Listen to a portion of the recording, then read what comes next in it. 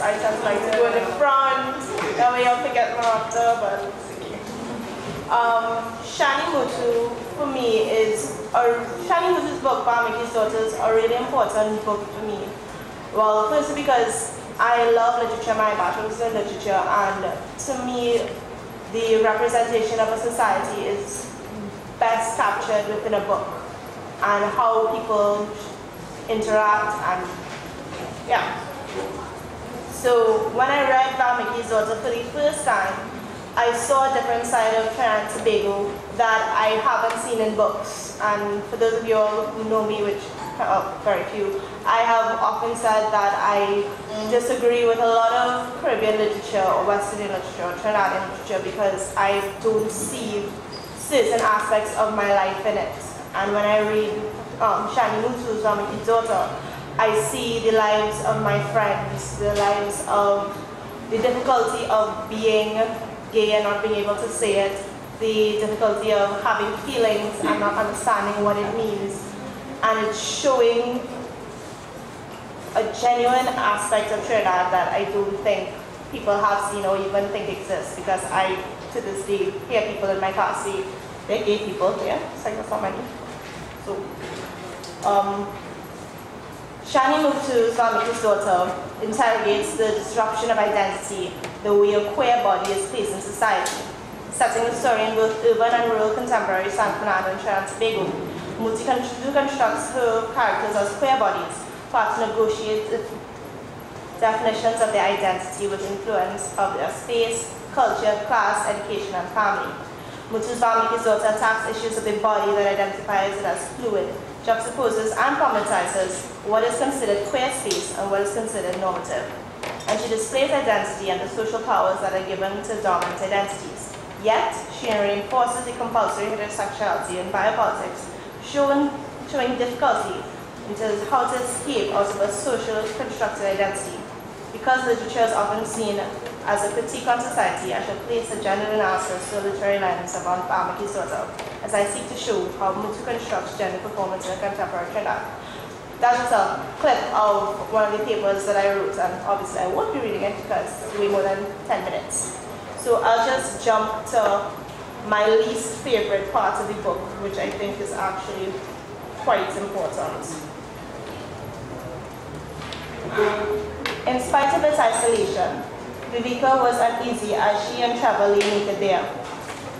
The pelvic odor of seaweed begins to decay curdled in the air of the cranium of this tiny babe. First time with a man, I mean? She nodded, embarrassed. Against such a murderous air, it was impossible to moderate her breathing. One prisoner, she thought, to the relentless push, push, pushing. When Trevor accidentally slipped out of the small progress he had made, he assured her that it wasn't her fault. He had to start all over again. She did as she was told, raised her buttocks off the sand, and he slid one arm under her and brought her up yet higher. Breathe, just breathe, he sputtered. Viveka closed her eyes tightly and breathed slowly, deeply. Her body was coats of flies, wells had formed fast. Each one had already a fiery point of sweating, itching. Her body marked easily. It would be difficult to keep private from Vashti what she had been up to. He offered her his shirt full of sand and she took it to wipe herself. I guess that was a little different, huh? I guess, she said. Trevor took the shirt when she was done, waded naked into the water to his waist. He dropped down into his neck to protect his body from the unrelenting attack of swarm and swarm of nasty black flies. Viveka watched him. His back was to her, and he was busy wringing the water from the shirt. She shook the shirt loose, slapped and wiped the air and flies with it. His buttocks were small, drooped, and she had just had sex with him. This is Viveka, Valmiki's daughter's first sexual encounter with a man. Her previous sexual encounter was with a woman, Anick, a woman who I believe she deeply loves. However, Anick is having a baby with her husband, Nayan. Very complicated book, this book. And to me, what this book showed in the end was that Viveka couldn't escape her life of being queer. Because in this book, to me, I don't really see a gay, lesbian, or bisexual person I see people who are moving through their sexuality, trying to negotiate it. Um, Viveka starts off in the beginning, not too sure how she feels. She doesn't, she doesn't act like the normal girls. Her mother is absolutely opposed to her doing anything that's outside of the typical Indian girl image. She can't play volleyball. She can't, um, the way she dresses, the way she looks, even her father, who is in all essence a man who has sex with a man, with men on the down low, says how not even he would marry her. And it's this constant reinforcing of gender. So let me just go to my favorite part of the book. Now I have to ask you all to excuse my French because it's very poor even though my last name is Espinet. Once she and Viveka were alone, Anick initiated the French conversation practice had begun by phone over the past couple of weeks. D'accord, mais je suis timide, ventured Viveka. Pas timide, timide, timide, timide. Oh, okay. Je suis timide. Is that better? Très bien. Ma sœur, monsieur, si tu délivres en à ça délivre. oh my God, I didn't, je ne comprends a single. Tu as dit, you'll have to lentement. Okay, okay, let me try this. Vous, vous parlez peu d'intense, s'il vous plaît? This of exchange seemed oddly more intimate to, to Viveka than when she and Elliot had kissed. It was a little frightening, and yet she felt brazen. She had pushed Elliot away, but now she easily laid vulnerable, or fumbling for language like a cloak of the ground for Anick to tread on. It was Anick who eventually called the impromptu session to a close, and the two women reverted to English. It was as if they had been in a movie theater, watching something beautiful, yet a little illicit. And suddenly the movie had ended, and the lights had come on. But now that they were alone, Anick spoke English with much less hesitation than she had done at the table. And this too seemed intimate. The, there grew between them a boldness and a closeness that if both frightened and weakened Viveka. There had been wine at the dinner table. They had drunk moderately, modestly and eaten heartily. There had been a couple of hours, and now Viveka felt as pleasantly drunk as if she and Anick had just shared a magnum between them.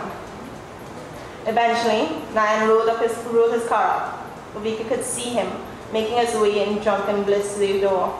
Anick appeared suddenly sober in the glare of his presence.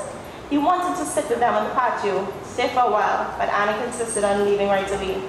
After they left, Viveka looked up at the house and readied herself as quietly as she could for bed.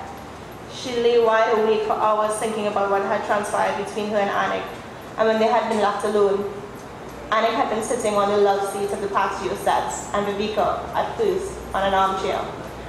She had gone to the kitchen to get them both drinks of sorrel, and when she returned, she tucked herself into the love seat, managing in that small sofa to create enough space between them for still another person to slide, slide in.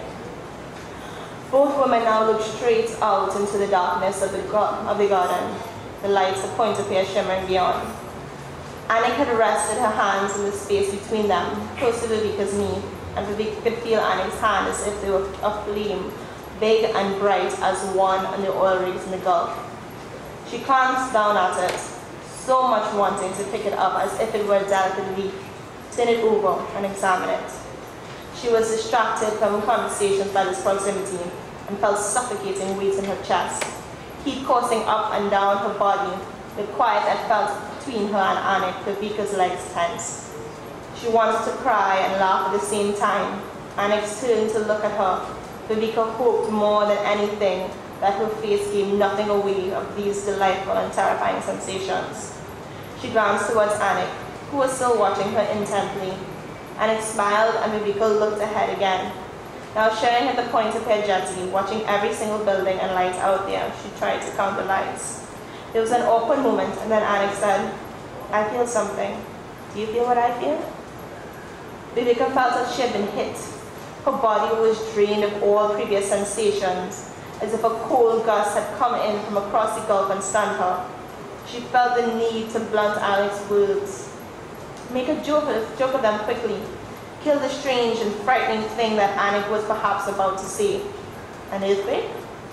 Viveka had snapped over the chuckle of indignation, and just then Aunt Nan's car had pulled up outside. I loved this part so much because it felt as if there was nothing of gender, there was nothing of sex, biological organs, and compulsory heterosexuality. There were just two people sharing a moment and getting lost in it, as opposed to the incredibly awkward sexual encounter that Viveka had with Trevor, the guy that I read earlier. And uh, lastly, as Mootoo, in Mootoo's introduction, she shows why it is that there's this big problem with actually being who you are and loving who you want to love. And I lost it. But she wants to pretend she can't see who has called her. She wants to pick up her pace and hurry across the street and back through the gates. As much as she wants to do these things, she also wants to go to this woman, stand with her and ask if she can do anything for her. But she does not want her friends, anyone on the promenade, even the people who are strangers, to see that she knows this woman about whom rumors have spread far and wide. People have driven their cars here on a Sunday to see if they could spot this woman. She said to give her body to men, right here on the promenade, behind statues at night and in the bushes in the day, in exchange for cigarettes or money to buy a flasks of rum. It is much discussed. Vashti hears it talk, and in this moment, as she let, lets her eyes meet this woman, as if she, too, is saying these things. But if she's doing this sort of thing, why this why this say about her can't be true? It can't be so that she's a buller. If women like she, how come she doing it with man? Well, maybe it's not a bad thing then. Maybe cure her. And from, from such a family too, is killing her parents. No wonder they put she out the house. Vashti knows this woman, Merle Bedi, she used to come home to visit Vashti's sister Viveka, and Vashti and Viveka would sit in the living room and listen to this woman play Beethoven on the, on the piano and Debussy, Clair de Lune, their favorites. And when she played, she forgot the world around her. It was as if some unearthly understanding of the meaning of everyone, every note she played arched through her body, filled her lungs, and weakened her. Watching her made me breathless. Her fingertips touched each key, and the keys gave themselves up to her, as if they too had been waiting for her. Bastian Viveka knew that Merle would be a great pianist one day. That is what Merle had wanted, but her parents insisted that the piano came too easily for, to her. And for that reason, it should be her passion, not her job. They insisted that since she did well in all the sciences, she was to study medicine. If only Vashti finds herself wishing now. If only the other students and the people staring as she walks slowly towards Moore to know how brilliant and talented she is. That playing the piano is her calling, or was. And that Mootoo opens up as a cautionary tale be careful not to let people know that you're gay or else you'll end up on the streets poor and a pariah. Thank you.